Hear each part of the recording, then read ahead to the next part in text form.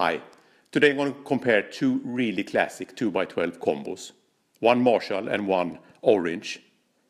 Uh, I'm going to play cleans, crunch and uh, lead tones here. Uh, and I want to know what, what, where do you think they excel and where they have their, their limitations. Uh, check out the video description for more, more details uh, about the amps. All right, let's go.